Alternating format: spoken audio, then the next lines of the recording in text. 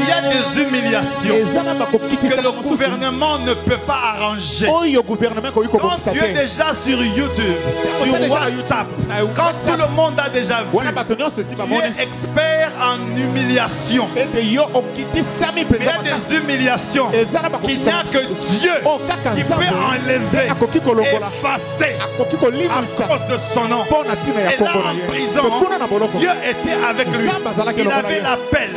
Il avait mpela. L'onction. Azalaki na Il était attaqué. J'imagine qu'il pouvait dire comme Moïse, mose mon Dieu, délivre-moi de mes ennemis. Les ennemis du mensonge, les ennemis du mal, les ennemis qui me veulent la mort. Délivre-moi de mes ennemis. Et là en prison, Dieu l'a utilisé comme prophète. Il a interprété le songe. On n'a pas ndoto le temps. Après le songe, on l'a rappelé pour être premier ministre. La Bible dit la poussière, il relève le pauvre. Et du filet l'indigent.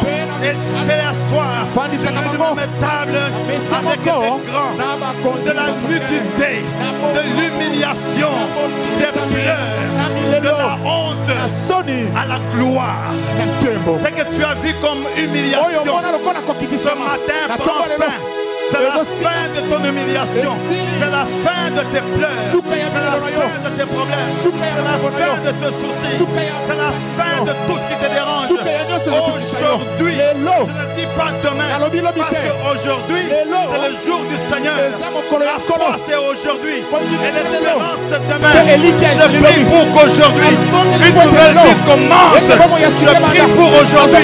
Que soit délivré. Les chaînes des familles, na minyororo ya les chaînes de sorciers, les chaînes d'envoûtement, les chaînes de réclamation, les chaînes de la sorcellerie, les chaînes de maraboutage.